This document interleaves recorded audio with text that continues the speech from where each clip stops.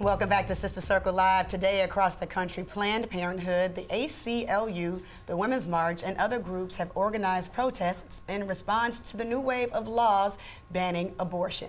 While many states passed the heartbeat bill, uh, banning abortions after a fetal heartbeat can be detected. And, uh, Alabama's ban that doesn't even make exceptions in the event of rape or incest has drawn the most criticism, even from anti-abortionists like the televangelist Pat Robertson, who spoke out saying Alabama has just gone too far. Yes, mm -hmm. yes, my goodness. And that is by design.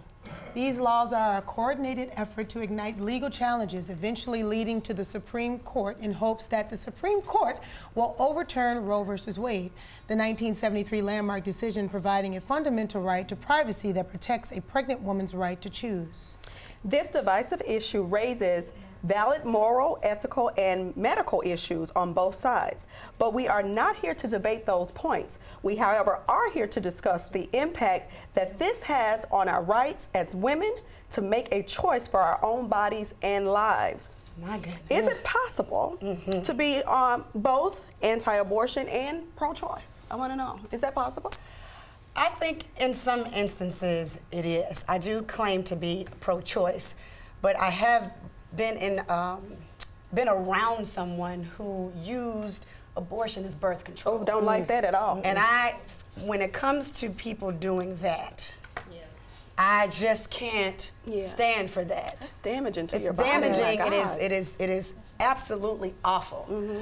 But then on the other side, when you have women who are facing medical issues, mm -hmm. women who have been raped, who've been victims of incest, mm -hmm. and you're telling them that they cannot terminate mm -hmm. this pregnancy, mm -hmm.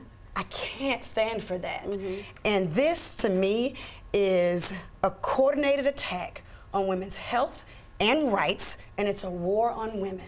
And, and Michelle, I want to uh, correct you just a bit here. I think they're stating if it is uh, incest or in some states, though, in, in some states, it's not. Not in Alabama. In Alabama. Not in Alabama. Alabama, Alabama, it does not matter yes. if you were raped or if you were a victim of incest. And and, and it, it has gone on as people have been quoted. Those lawmakers, a few of those lawmakers have been quoted saying that that is the blessing from what has happened to some of these women. Yes, they have been quoted saying that. Oh, so I'm disgusted by that. I just cannot in 2019 mm. that we're having this discussion yes. right now that so many states are following this trend mm. completely. Well, Rashan, I, I have to say that I am so glad that you just spoke the way you just did. Yes. Because, um, and, you know, I pondered on this a lot when we, when we you know, decided to speak on this, mm -hmm. but I am um, anti-abortion but pro-choice. Mm -hmm. So it is very possible.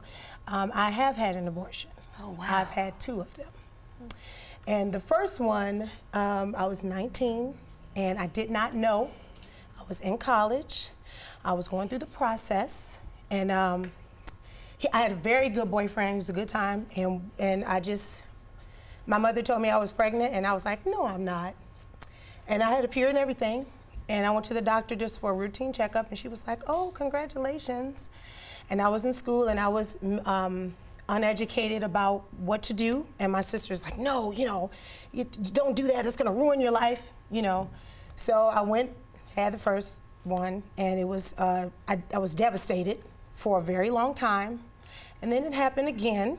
I was with my boyfriend, who later became my husband, but I had just signed with Jive Records. And so um, a woman in the company, I, told, I cried, I, I was like, God is going to hate me. He's not going to bless me with children. He's going to, um, he's going to think I'm awful, you know. Same thing when I went through a divorce. I thought God would hate me because of that as well. And I went through it again, but then I vowed after that, I said, this, I can never do this again. Mm -hmm. This will never happen. I don't care what the circumstances are. I will never do this again. Mm -hmm. um, thank the Lord that He has blessed me with two children. But every time I, I would go in for when I was pregnant, you know, how they ask you, how many pregnancies have you had? I was always reminded that I have children in heaven. And so um, I'm anti abortion because it is it is devastating and it, it is hurtful to have gone through that. And I know people will probably call me a murderer or whatever, but I didn't know better and I did what was best for me, you know. Um, but women should have that choice because every circumstance is different and may and had I went through the process of having the children, maybe I wouldn't be sitting here today with you able to express the story and, and be able to tell my story because God gave us this platform. So if God gave me this platform, this is what I, I signed up to be transparent. I signed up to tell my story. Um, yes, I don't think abortion is good. I hate it. I'm, I'm sad. I pray for forgiveness. But I do think that that is a person's choice, a woman's choice, mm-hmm. because it could be circumstances that could be devastating to the detriment of the child mm-hmm. and the woman. Yes. But what it did mentally um, is very hard to erase. I am pro choice. As a woman, we should have the choice, just like a man, to determine what we want to do with our bodies and how we want to do it.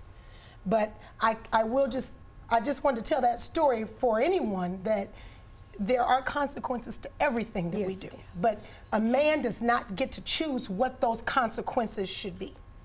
And that's where I stand. Thank you for telling your truth. We'll be right back.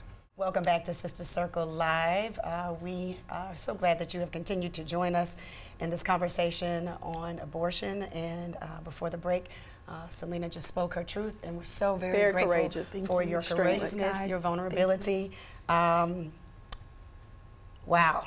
Absolutely. Wow. Let's talk a little bit about religion yeah. and how religion plays a role uh, in this discussion. Um, you know, religion, uh, you know, and I'm a Christian, let me just state that for the record. Um, it can be depicted in so many ways, and we've seen it uh, in the times of slavery where Christianity was actually utilized to keep people enslaved, okay? Mm-hmm. So um, I personally don't think laws should be based on religion, religious beliefs, because it's basically someone's interpretation in my opinion. Mm-hmm. Um, I think people, I am pro choice. I'm going to support a woman one way or the other because she only knows her particular situation. Right, yeah. right. Honestly. Yeah. Um, I have taken a number of friends and uh, will still take more if I can. If, if, if, they needed me to do that, I will be there for them. Mm-hmm. I do agree, however, with you. Um, I don't like when young women utilize utilize abortions as a form of um, birth control. Yeah, birth control. Mm-hmm. It is not. Yes. Uh, we have all type of what is it, Mirenas? Mirenas. They got a lot of things going on. Yeah, absolutely. Yeah. So you don't. We don't want to do that, and we don't want to make that uh, a pattern because we got to understand too. We're also damaging our bodies mm-hmm. each time it happens. You know. Yeah. Yeah. Um, but I got to say, I'm pro-choice, yes. and I don't think a man or any legislation should tell me what I can do with my body. I'm completely against it. Yeah. Well, growing up, well, I, I got pregnant young with my oldest son, Eric. And as we all know, my father is a minister. And so Reverend Braxton's daughter mm-hmm. got pregnant. Mm. And there was one lady in the church in particular, you know, and she was almost trying to shame me. And of course, my mother wasn't having it, by right, the way. Right. Um, but oh, you're the Reverend's daughter. I can't believe you laying down with people, blah, blah, blah. And I almost let her get to me. And at the time, we were about to sign with uh, Atlantic, mm-hmm. Atlantic Records, and I had a choice. And in all honesty, I went down to the clinic. I laid down on that table.